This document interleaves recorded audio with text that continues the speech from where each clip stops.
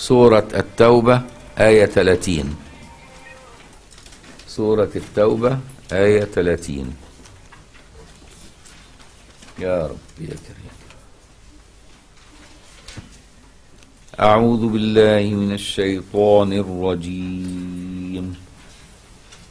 بسم الله الرحمن الرحيم. وقالت اليهود عزير ابن الله وقالت النصارى المسيح ابن الله. ذلك قولهم بأفواههم. يضاهئون قول الذين كفروا من قبل. قاتلهم الله. أنا يؤفكون. وقالت اليهود عزير ابن الله بتنوين عزير هكذا. عزير ابن الله هكذا. دي قراءة عاصم والكسائي ويعقوب. أما باقي القراء عزير بغير تنوين. عزير ابن الله. عزير ابن الله. قالت اليهود عزير ابن الله بغير تنوين هكذا. بئس ما قالوا يضاهئون يعني يتشبهون المضاهاة هي المتش... التش... التشبيه أو الموافقة. يضاهئون قول الذين اللي يقول يضاهئون بالهمز هكذا عاصم بس اللي هو شعبة وحفص بالهمز. باقي القراء يضاهون يضاهون يعني يوافقونهم ويتشبهون بهم.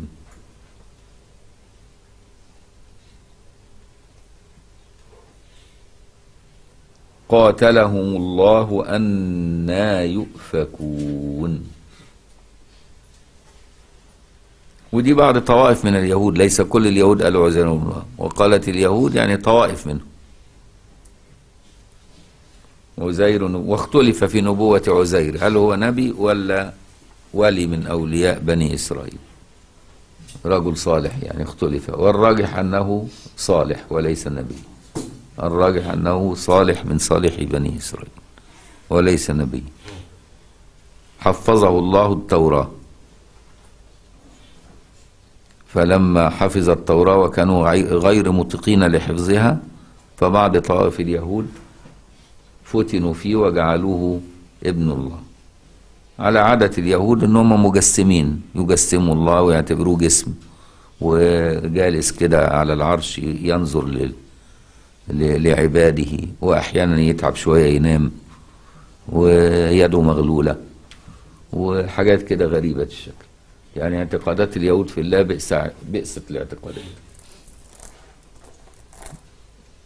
وقالت النصارى المسيح ابن الله ودي برضه طوائف من النصارى برضه ليس كل النصارى قالوا ابن الله دي طوائف. يبقى الألف واللام هنا مش النصارى مش الاستغراق مش استغراق كل النصارى دي الألف واللام للعهد. يعني لبعض النصارى المعهودين. لأن الألف واللام قد تأتي للاستغراق أو للعموم أو إيه؟ أو أو للجنس يعني أو للعهد.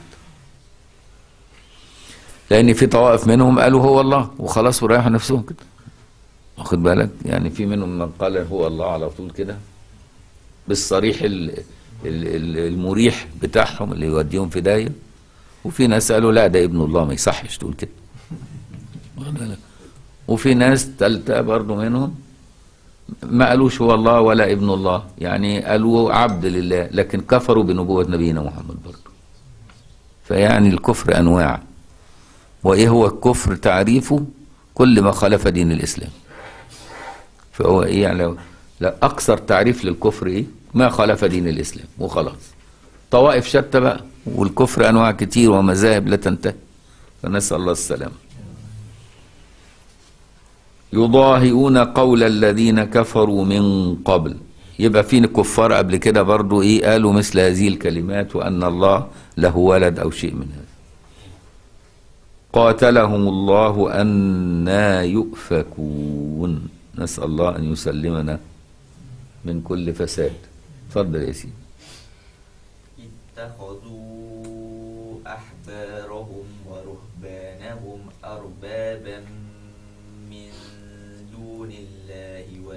والمسيح ابن مريم وما أمروا إلا ليعبدوا إلها واحدا لا إله إلا هو. نعم. سبحانه عما يشركون. اتخذوا أحبارهم ورهبانهم. والأحبار هم العلماء. ورهبانهم اللي هم العباد. اتخذوا أحبارهم ورهبانهم أربابا من دون الله. طبعا عارف قالون وابن كثير المكي هيقراها إيه؟ اتخذوا أحبارهم ورهبانهم أربابا من دون الله.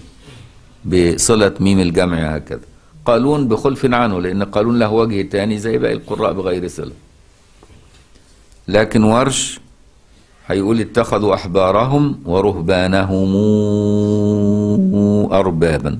لأن بيصل ميم الجمع اللي بعدها همزة بس. قالون. ويمد ست حركات. ده ورش.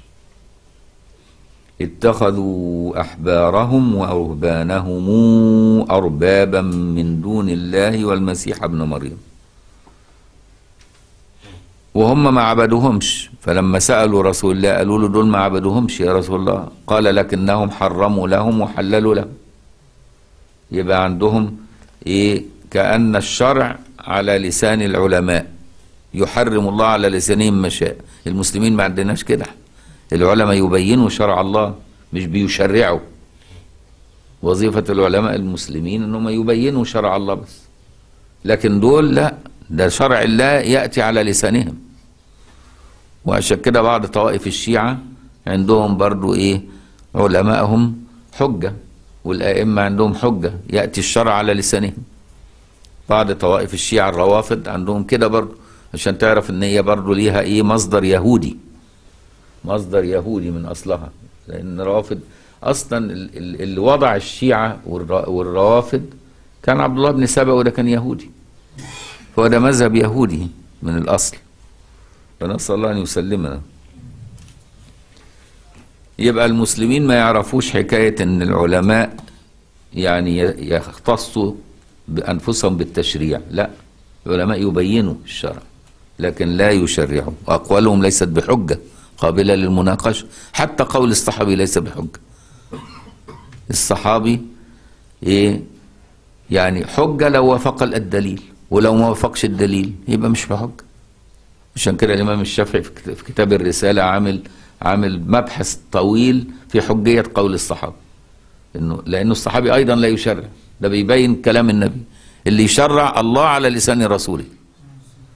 بس غير كده ما فيش حد يشرع. ده شرع المسلمين كده واعتقاد المسلم. الطوائف التانية لا. عندهم علمائهم ورهبانهم يشرعوا ما شاءوا. حتى لدرجة إن بيبيعوا لهم بيوت في الجنة. وهم في الدنيا لسه. يروح يشتري له بيت وبتاع ويحجز له حتة أرض في الجنة.